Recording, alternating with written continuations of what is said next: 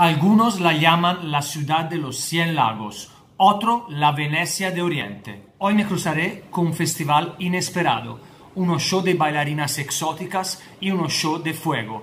Eso y mucho más en mi día número 10, Wadpur. Lo primero que sorprende en Wadpur es el color blanco de casi todas las casas. Mi día empieza con un rico desayuno vista al lago Pichola. Llega Satpal, mi conductor, y decido visitar el lago Pichola con un barco que rodea algunos gat o puertas, a donde algunos lavan ropa y otros a sí mismos. También la vista del City Palace es muy buena.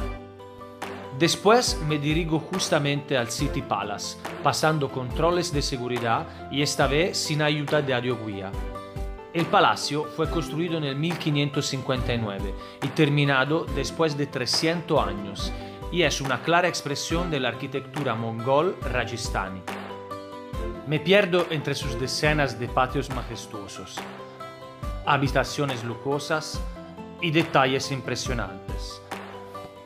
Además, en el interior hay una amplia colección de instrumentos musicales. Plata, palanquine para hombres y mujeres y fotos de familia. Terminada la visita, me dirijo al cercano jardín Sailion Kibari. Los locales a diario van para sentarse con amigos y familia. Para mí fue una breve visita entre kioscos, elefantes de mármol y fuentes. Los jardines la verdad que no son gran cosa, pero merece la pena entrar solo para ver esa fuente.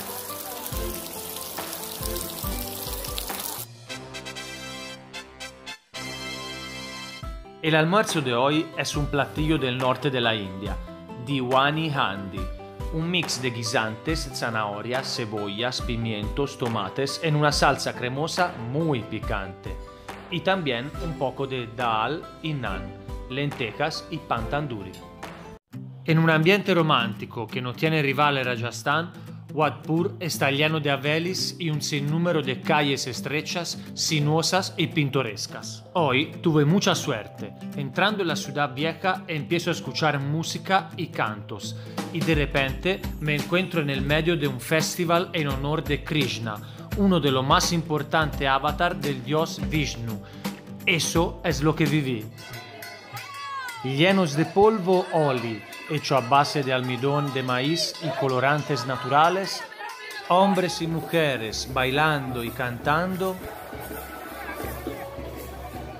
llevan sus altares llenos de ofrendas hacia el Ghat para luego lanzar todo al río.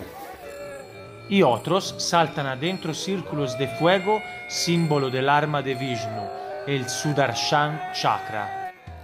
Después de este espectacular evento, entro en una vieja veli para asistir a un emocionante y cultural show. El show se llama Darorar y representa la escena de batallas y bailes típicos mongoles y hindú. Es un viaje en el tiempo, con bailarinas exóticas.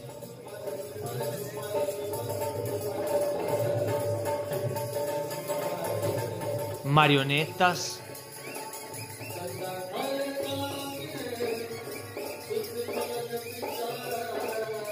y bailes acrobáticos.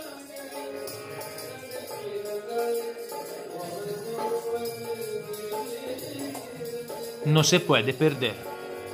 Esta noche, Navratan Korma. Lo más bonito de la India es seguramente comer con las manos. En ese momento estoy comiendo mi cena y está deliciosa. Creo que esta vez la acerté al 100%. Es un mix de vegetales en una salsa de fruta deshidratada y nueces de la India. Honestamente es lo máximo. Y comer con la mano le da un gusto muchísimo mejor. Buen provecho.